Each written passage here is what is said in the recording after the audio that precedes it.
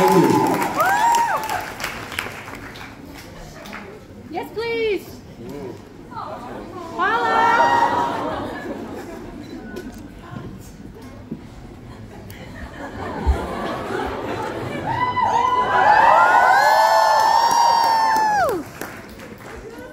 This next song was written in a hunter's cabin on a hill in a forest in Slovenia during the, in between the first and the second wave of COVID.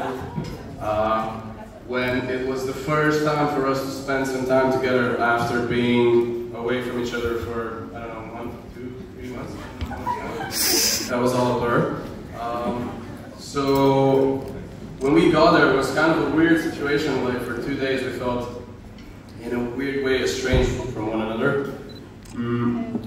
So this song is a product of the first afternoon when it all fell together into a one puzzle the way it's supposed to be.